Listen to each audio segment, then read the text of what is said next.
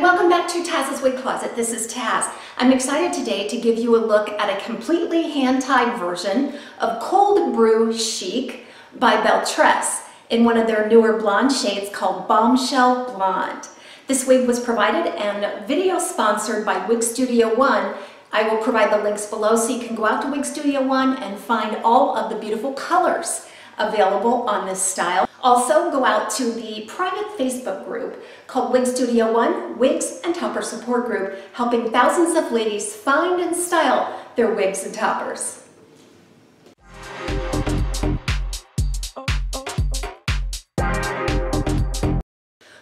Chic is a part of that cafe collection by Belle Tress. Uh, all of those styles kind of named and fashioned after coffee drinks. This one is a medium length, heavily layered bob cut, straight bob cut style. And there's a lot of layering in this that makes it feel almost like um, a little bit of a, a, retro or a shag kind of a cut. The front pieces here are about five and a half inches, so that's gonna come down to about the hollow of your cheekbone on most people. And then uh, there's about 11 inch layer here on the sides, 12 and a half inches on the back, so what you're gonna find is a lace front that actually runs uh, ear to ear. So that lace wraps around that ear tab, gives you some really nice coverage. And there's little baby hairs, really fine hairs that are spliced into that lace all the way around. What a nice touch. And if you wanted to pull it completely away from the face, it just looks so natural and fantastic. Then it has a full monofilament top. What you'll notice is there's no seam between the lace front and the monofilament top. The knotting is very fine as well. So you get a nice realistic look no matter how it's parted. I'm not exactly sure how much this one weighs. I'm guessing right around four and a half ounces. The Brew Chic that has a lace front monotop and is machine wefted weighs about 4.7 ounces, so it's probably about the same.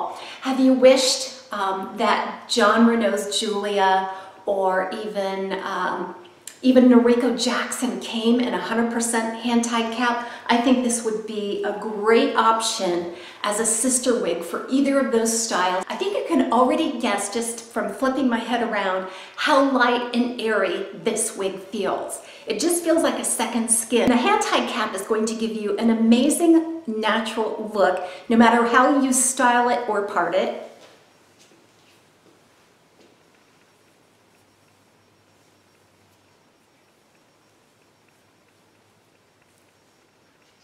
As a collection by Belle Tress, this is a heat-friendly style up to 350 degrees. The fibers are very fine and denier.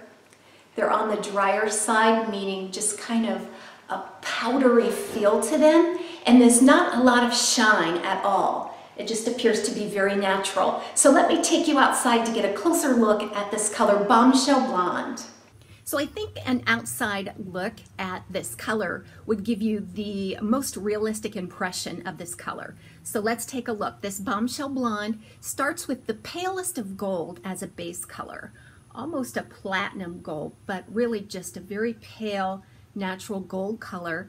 And then you'll notice a lot of highlighting that's a white, like a platinum or a white. So that just gives a very creamy pale blonde blend. Now all of that is on a light brown root and that rooting is can be caramel looking in the right light. There you'll see an up close look at how fine those knots are again at the lace front. But that, that rooting can look a little bit warm depending on the light. But I think it blends in very nicely with this beautiful color.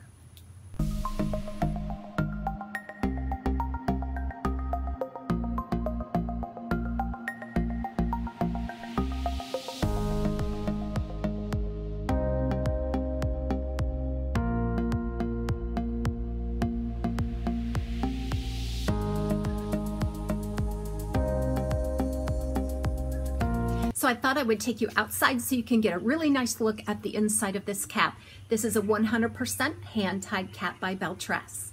So the first thing you'll notice is that uh, that lace front extends ear to ear.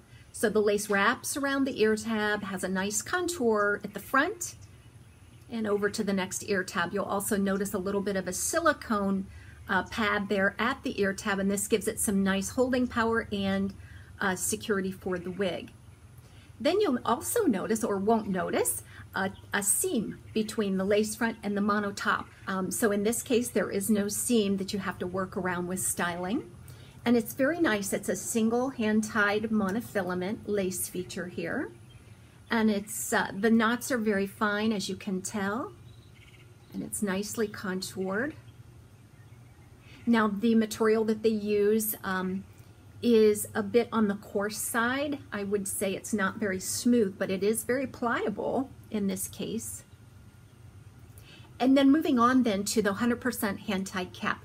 The material that they use in this hand-tied cap is a little different than a lot of the other hand-tied caps that I've seen from other brands. It's stretchier.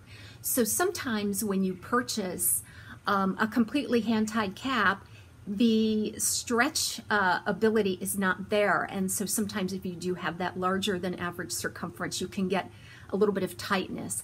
But on this particular one, I'm noticing a lot of stretch and a lot of breathability.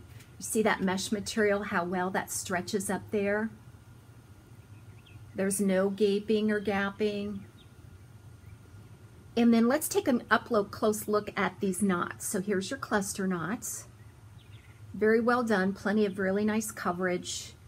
And again, just such nice stretch there. You have a closed uh, nape rose lace there and it is extended.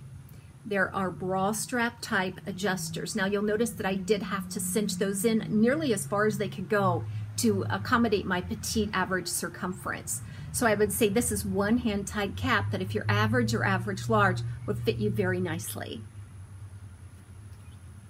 style right out of the box um, was pretty flat. So what I had to do is I had to get in there and swirl my fingers around just to kind of wake up those fibers so that they could move and pivot uh, individually to give you a nice natural movement and look. Now there was not, there's no permatease at all in this wig. So you're really gonna have to work at getting some volume. So what I had to do was just use the heat of my hands to kind of swirl in and then use the uh, heel of my hand and press and hold against my head. What that will do, it will redirection. It'll use the heat from my hands to redirection that root into the area that I wanted it to go in.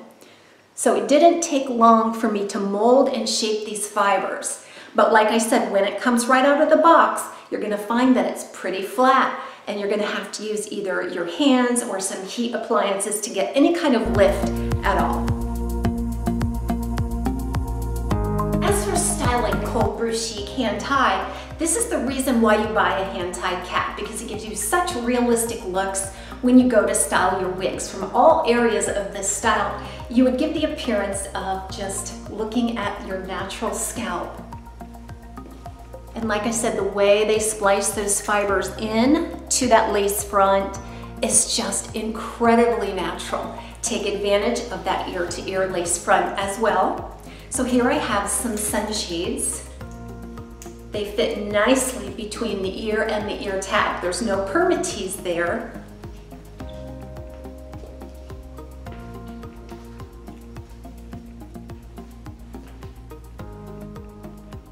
So natural.